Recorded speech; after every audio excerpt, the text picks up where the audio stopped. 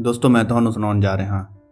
Kate ਸ਼ੋਮਪਨ ਦੀ ਲਿਖੀ ਕਹਾਣੀ the story of one R ਦਾ ਪੰਜਾਬੀ ਅਨੁਵਾਦ, ਇੱਕ ਘੰਟੇ ਦੀ ਕਹਾਣੀ। ਇਸ ਕਹਾਣੀ ਦਾ ਪੰਜਾਬੀ ਅਨੁਵਾਦ ਚਰਨ ਗਿੱਲ ਨੇ ਕੀਤਾ ਹੈ ਇਹ ਜਾਣਦੇ ਹੋਏ ਕਿ ਮਿਸਿਸ ਮਲਾਰਡ ਦਿਲ ਦੀ ਰੋਗਣ ਹੈ ਉਸ ਨੂੰ ਉਸਦੇ ਜੀਵਨ ਸਾਥੀ ਦੀ ਮੌਤ ਦੀ ਖਬਰ ਦੇਣ 'ਚ ਬਹੁਤ ਸਾਵਧਾਨੀ ਤੋਂ ਕੰਮ ਲਿਆ ਗਿਆ। ਉਸ ਦੀ ਭੈਣ ਜੋਜ਼ਫੀਨ ਨੇ ਟੁੱਟੇ-ਫੁੱਟੇ ਸ਼ਬਦਾਂ 'ਚ ਅੱਧ ਅਧੂਰੀ ਗੱਲ ਦੱਸ ਰਹੇ ਗੁੱਝੇ ਇਸ਼ਾਰਿਆਂ ਨਾਲ ਉਸ ਨੂੰ ਖਬਰ ਸੁਣਾਈ। ਉਸ ਦੇ ਜੀਵਨ ਸਾਥੀ ਦਾ ਦੋਸਤ ਰਿਚਰਡ ਵੀ ਕੋਲ ਹੀ ਸੀ।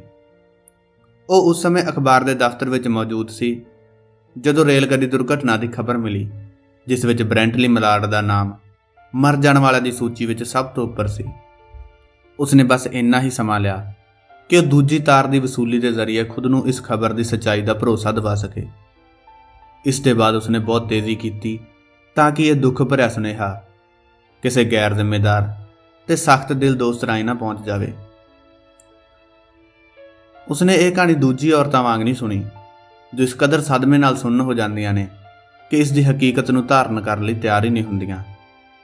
ਉਹ ਅਚਾਨਕ ਸਭ ਕੁਝ ਭੁੱਲ ਕੇ ਭੈਣ ਦੇ ਗਲ ਬਾਹਾਂ ਪਾ ਧਾਹਾਂ ਮਾਰ ਕੇ ਰੋਣ ਲੱਗ ਪਈ। ਜਦੋਂ ਗਮ ਦਾ ਇਹ ਤੂਫਾਨ ਥੋੜਾ ਹੰਭਿਆ, ਤਾਂ ਉਹ ਇਕੱਲੀ ਪੌੜੀਆਂ ਚੜ ਆਪਣੇ ਕਮਰੇ ਵਿੱਚ ਚਲੀ ਗਈ। ਉਸਨੇ ਕਿਸੇ ਨੂੰ ਆਪਣੇ ਪਿੱਛੇ ਨਹੀਂ ਆਉਣ ਦਿੱਤਾ। ਉੱਥੇ ਖੁੱਲੀ ਖਿੜਕੀ ਦੇ ਸਾਹਮਣੇ ਇੱਕ ਵੱਡੀ ਆਰਾਮ ਕੁਰਸੀ ਪਈ ਸੀ। ਉਹ ਉਸ ਵਿੱਚ ਢੇਰੀ ਹੋ ਗਈ। ਜਿਸਮਾਨੀ ਥਕਾਵਟ ਦੇ ਬੋਝ ਨੇ ਉਸ ਨੂੰ ਦਬੋਚ ਰੱਖਿਆ ਸੀ ਤੇ ਇਹ ਹੁਣ ਉਸ ਦੀ ਰੂਹ ਤੱਕ ਪਹੁੰਚ ਰਹੀ ਜਾਪਦੀ ਸੀ। ਉਸ ਨੂੰ ਆਪਣੇ ਘਰ ਦੇ ਸਾਹਮਣੇ ਚੁਬਾਰੇ ਤੇ ਨਵੀਂ ਬਹਾਰ ਵਿੱਚ ਝੂਮਦੀਆਂ ਰੁੱਖਾਂ ਦੀਆਂ ਛਤਰੀਆਂ ਨਜ਼ਰ ਆਈਆਂ। ਮੀਂਹ ਦੀ ਮਹਿਕ ਅਜੇ ਹਵਾ 'ਚ ਮੌਜੂਦ ਸੀ। ਹੇਠਾਂ ਗਲੀ ਵਿੱਚ ਫੇਰੀ ਵਾਲਾ ਆਪਣੇ ਸਮਾਨ ਦਾ ਹੋਕਾ ਲਾ ਰਿਹਾ ਸੀ। ਦੂਰੋਂ ਕਿਸੇ ਦੇ ਗੀਤ ਦੇ ਮੰਦ-ਮੰਦ ਬੋਲ ਸੁਣਾਈ ਦੇ ਰਹੇ ਸਨ ਤੇ ਕੰਧਾਂ ਦੇ ਵਾਦਰਿਆਂ ਤੇ, ਟਾਂਡਾ ਤੇ ਆਲਿਆਂ ਵਿੱਚ ਬੈਠੀਆਂ ਬੇਸ਼ੁਮਾਰ ਚਿੜੀਆਂ ਚਹਿਚਹਾ ਰਹੀਆਂ ਸਨ। ਖਿੜਕੀ ਵਿੱਚੋਂ ਦਿਸਦੇ ਪੱਛਮ ਵਾਲੇ ਪਾਸੇ, ਇੱਕ ਦੂਜੇ ਤੇ ਚੜੇ ਬੱਦਲਾਂ ਵਿੱਚੋਂ ਕਿਤੇ-ਕਿਤੇ ਨੀਲੇ ਅਸਮਾਨ ਦੀਆਂ ਟਾਕੀਆਂ ਝਾਤੀਆਂ ਮਾਰ ਰਹੀਆਂ ਸਨ। ਉਹ ਆਪਣਾ ਸਿਰ ਕੁਰਸੀ ਦੀ ਗੱਦੀ ਤੇ ਸੁੱਟ ਸ਼ਾਂਤ ਹਿੱਲ ਬੈਠੀ ਸੀ। ਸਿਵਾਏ ਉਸ ਪਲ ਦੇ, ਜਦੋਂ ਕੋਈ ਸਿਸਕੀ ਉਸ ਦੇ ਹਲਕ ਤੱਕ ਪੁੱਜ ਜਾਂਦੀ ਤੇ ਉਸ ਨੂੰ ਝੰਜੋੜ ਦਿੰਦੀ।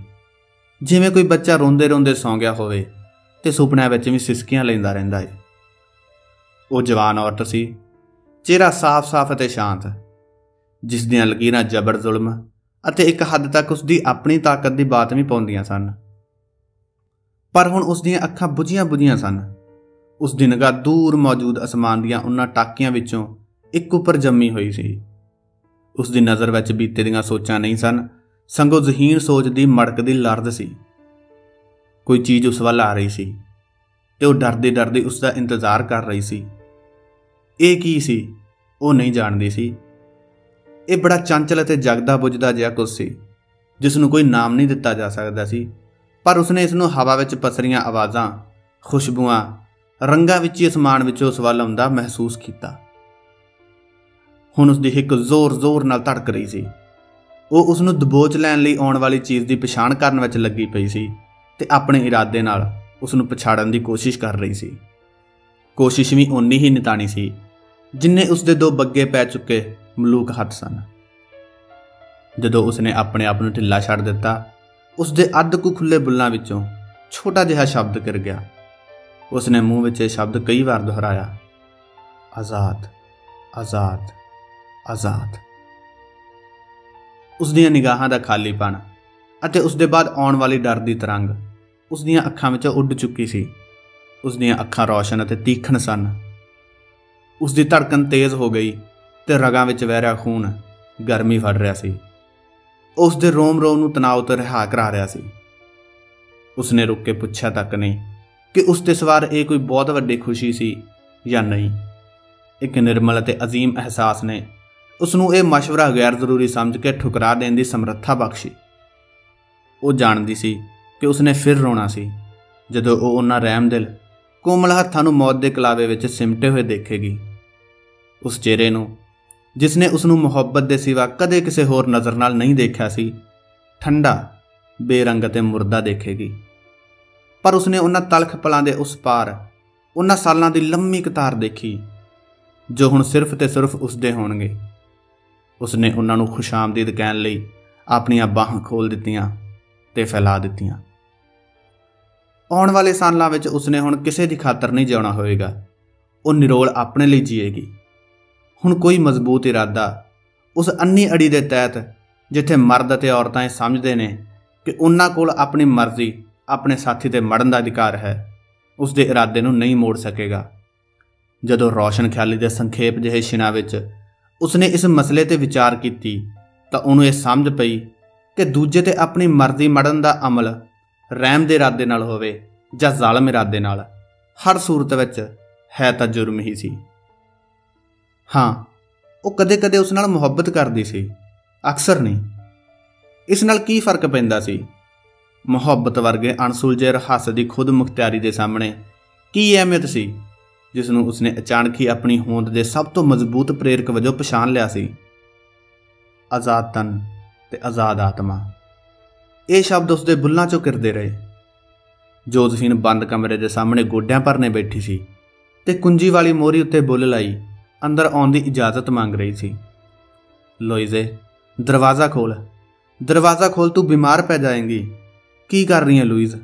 ਰੱਬ ਦੇ ਵਾਸਤੇ ਦਰਵਾਜ਼ਾ ਖੋਲ ਚਲੀ ਜਾ। ਮੈਂ ਬਿਮਾਰ ਨਹੀਂ ਹੋ ਰਹੀ। ਨਹੀਂ, ਉਹ ਤਾਂ ਖੁੱਲੀ ਖਿੜਕੀ ਰਾਹੀਂ ਜ਼ਿੰਦਗੀ ਦਾ ਅੰਮ੍ਰਿਤ ਪੀ ਰਹੀ ਸੀ। ਉਸ ਦੀ ਕਲਪਨਾ ਆਉਣ ਵਾਲੇ ਦਿਨਾਂ ਦੇ ਪੀੜ ਵਿੱਚ ਧਮਾਲਾ ਪਾ ਰਹੀ ਸੀ। ਬਹਾਰ ਦੇ ਦਿਨ, ਹੁਨਾਲ ਦੇ ਦਿਨ ਅਤੇ ਹਰ ਇੱਕ ਤਰ੍ਹਾਂ ਦੇ ਦਿਨ, ਜੋ ਸਿਰਫ ਅਤੇ ਸਿਰਫ ਉਸ ਦੇ ਆਪਣੇ ਹੋਣਗੇ। ਉਸ ਦੇ ਦਿਲ 'ਚੋਂ ਜ਼ਿੰਦਗੀ ਦੇ ਲੰਬੀ ਹੋਣ ਦੀ ਤੜਪ ਜਾਗ ਪਈ।